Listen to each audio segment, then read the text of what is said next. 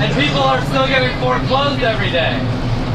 Every day, people are getting foreclosed by Wells Fargo, even though we have all these amazing homes. Their houses are being sold while they're still living in them. I know. Is that our snake from Look at those hot rodders over there. You mean wrong? You guys pick us up a little Check! Check! Check! Wells Fargo's right there. Wells Fargo's right there. Go over there.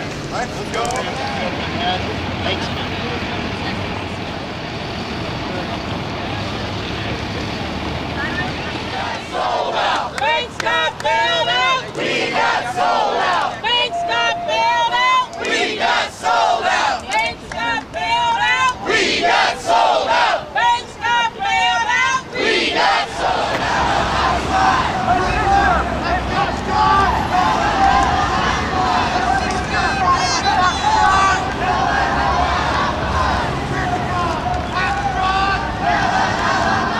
Uh, they granted me a temporary modification, just temporary. Yes. That lasted for a while, for a few months, and then they said they were going to do, uh, I had to send in all kinds of information. Um, how much money I was making, uh, expenses, and they would take that and give it to the underwriters. Well, the underwriters kept my information for over 60 days. Yes. In fact, last Saturday, around this same time, I got a call from Wells Fargo telling me that the underwriters decided not to give me a modification. That's not right! Fuck Wells Fargo! I did everything they asked me to do. Everything. Turned in everything they asked me. Shame, shame, shame, shame, shame, shame, Wells Fargo. shame, shame, shame, shame, shame, shame. Well, just a few weeks ago, I assume this is from Wells Fargo. When I came home, there was this yellow pamphlet like sticker on my garage. And when I went around later, there was one on my front door. And it said that this property is vacant. And if anybody wanted to buy it, they could call this number. The stickers say Bank of America on them. $49.3 billion. How much did they pay in taxes? Zero. Not only that, but they got $17.96 billion in tax breaks over that same time period. Is that right? No, that's not. Does not work. Capitalism. Who does it hurt? The people work too hard, making money for the few. Refuse, resist the system. Do what you want to do. Capitalism does not work. Capitalism. Who does it hurt? You.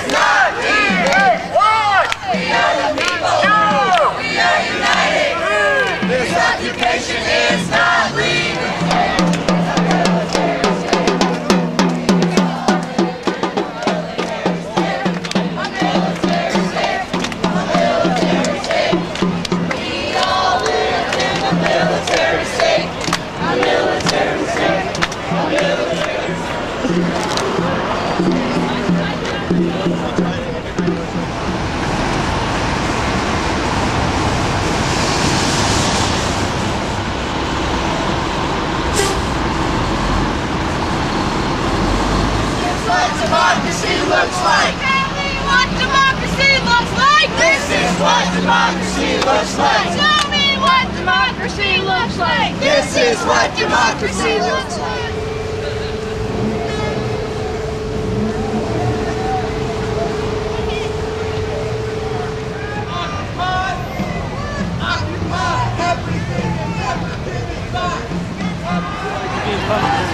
Yes.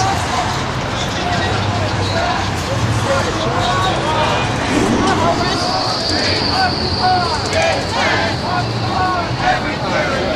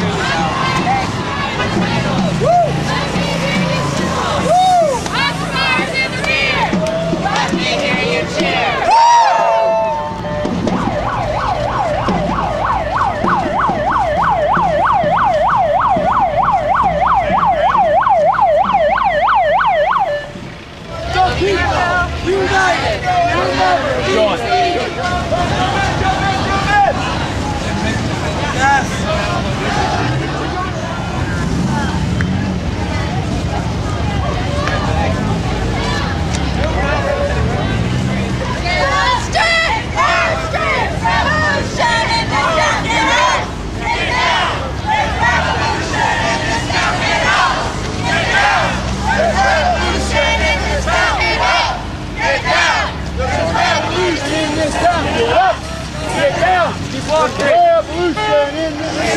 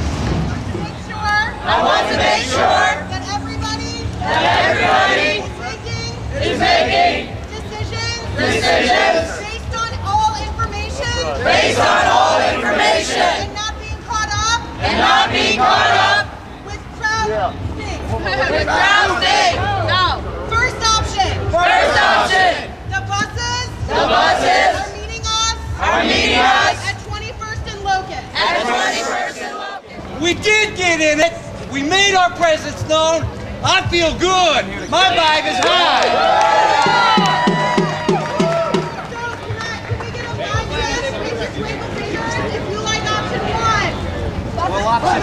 So,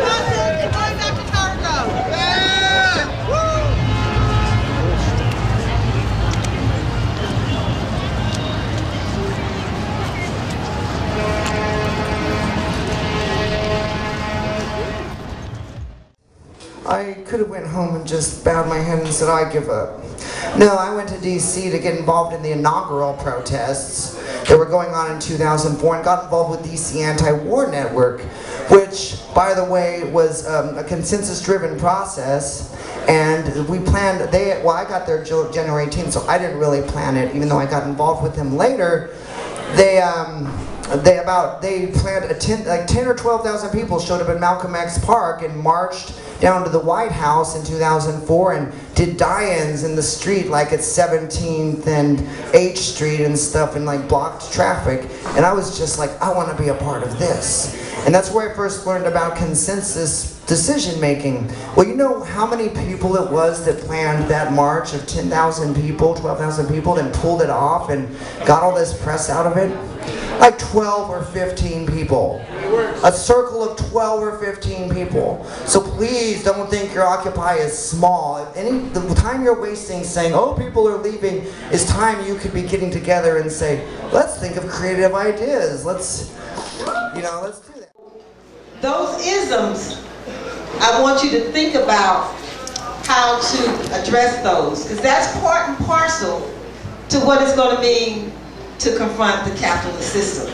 Because all of those things are coming out of the system to do what? Keep us divided and busy and hating each other. And within the 99%, we like to think we're all one homogeneous, monolithic group, but we're not.